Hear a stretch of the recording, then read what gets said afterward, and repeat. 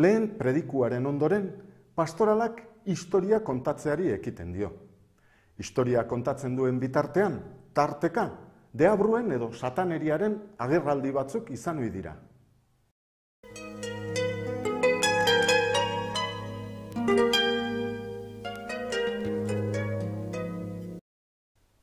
Esan jatan, bizia izeta. Nahiak beteak alduka, utzi ezak siesta orain, piztu dezagun borroka. Be horretatik manu zenbait jaso dizkia eta azkarrak. Sakeletik atera behar dituk lasterra tzamarrak. Guri beharrik ez dine aspaldi honetan gizonek. Eragin handirik ez dute Luciferren xede honek. Hain ditun urguilu jankinak, oilarrak handinaian. Gerla pizten dine berek, tartetik ken gaitezan. Isila di lotxagabe, zartako bat nahi ezpaduk.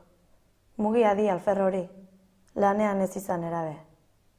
Katoliko protestanteak behar ditiagu bereizi, zuri, beltzak, euskaldunak, elkarren kontra nahasi. Olako laguntzailerik izan daiteke munduan? Arrak antz ditzagun bidantzatan lotuaz. Gero joango gaitun biak manu horiek betetzera. Hautspean lo dauden ikatzak bizi araztera. Hola maite haut jatan, osoki deabruz egina, argiaren irudia Luciferren iakina. Jende guztia sarbedi, orain gurekin plazan, arrenkurak azturik mundu osoaren dantzan.